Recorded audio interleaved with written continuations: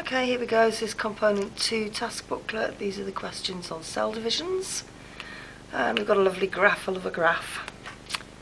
Most cells go through a cyclic process of growth and division. This is the change in DNA content during one cell cycle in most animals and plants. So at the side we've got DNA content, two, one and two, and we've got time along the bottom.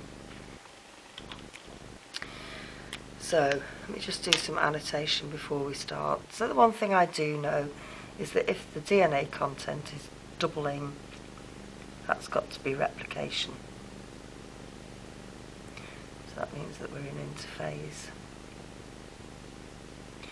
Interphase, we then got prophase, metaphase, anaphase, telophase, and then the cytoplasm is going to split so we've got two cells. Okay. So, what do we need to do? Use the letters from the diagram. Better do that then. Indicate the periods when chromosomes are being duplicated. So that's where it's going up. That's just B. Cell division is taking place. Now I wonder what they mean by that. If they mean if they mean the phases of mitosis or meiosis, whichever it is, then it will be C and D. And if they just mean cell division, splitting the cytoplasm, they'll just mean D. I'm going to go for just meaning D, but I could potentially have put C in there. And interphase then, so we've got DNA replication for definite, and then of course the phase the bit before that is also going to be it. And I'm thinking there's quite a long gap there at the top, so probably, they don't mean C, they probably mean P mats going on in there. So, that's really easy, so interphase. List. So I don't need to give any explanation. Three processes, one, two, three, which take place during interphase. So things that happen in interphase, DNA replication. My all-time top answer. And now I'm going to have to be a bit inventive. So uh, ATP synthesis. Moving all those chromosomes around is certainly going to use a bit of ATP. And I'm going to also go for protein synthesis which pretty much happens all the time. So, excellent. C, these are really easy. Explain the change in DNA content in D in the diagram. So why does the DNA content of each cell go down? The DNA has halved it's gone from 2 to 1.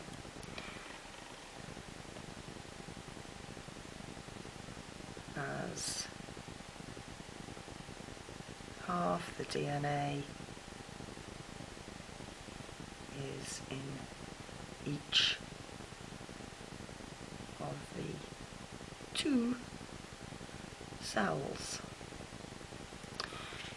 Okay, tip top. D. Can you tell whether the diagram shows meiosis 1 or mitosis? I don't know. Let me work it out. So, if it was meiosis 1, I'd be starting off with a pair of chromosomes. So before that they would have been singles. If you get that DNA doubling, that means the graph goes up. Then we go prophase, metaphase, anaphase, split them into each, telophase, cytokinesis,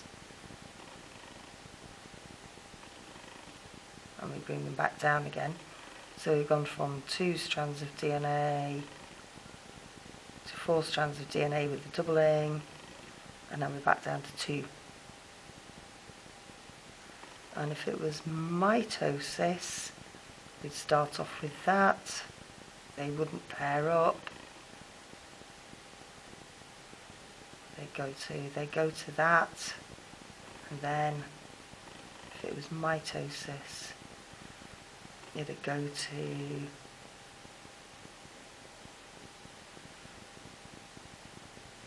one, two, one, two, and that would be meiosis.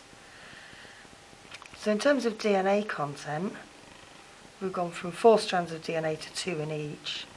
So uh, no, then I can't tell the difference just from that graph.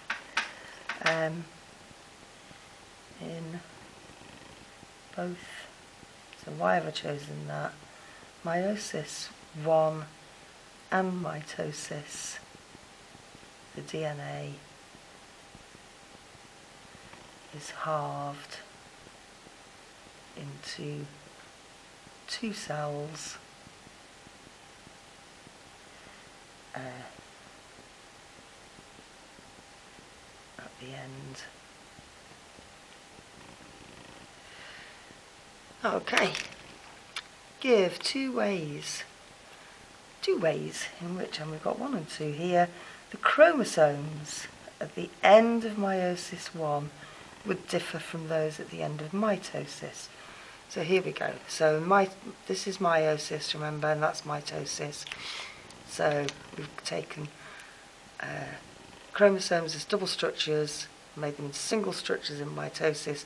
They're still double structures, but we've just uh, shifted the, uh, just split the homologs up. So um, at the end of mitosis for meiosis 1,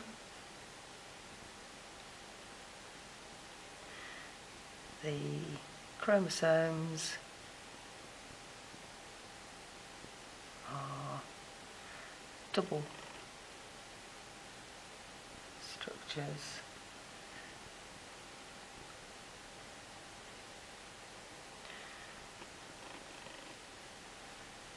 And at the end of mitosis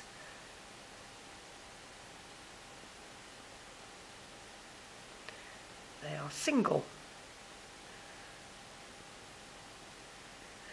Um, and of course, I could have said I could have talked about the chromatids still being joined together by a centromere, perhaps. You know, it still consists of two chromatids joined by a centromere. Instead of calling them double structures, that would have been fine. So how else are they different? What else do I know about meiosis? Well, of course, in prophase one, we've got crossing over, and in metaphase, uh, so that the, the chromosomes have got a muddling of uh, alleles and then we've also got that sort of random assortment of maternal and paternal chromosomes. So uh, the chromosomes would be, I'm going to call it genetically different. I think that's quite precise. And if I'm talking about chromosomes being genetically different rather than the cells, I think I'm just going to talk about crossing over. Because of crossing over. I'm going to say when it happens. Just because I can't read the examiner's mind, I don't know what they want. Okie dokie.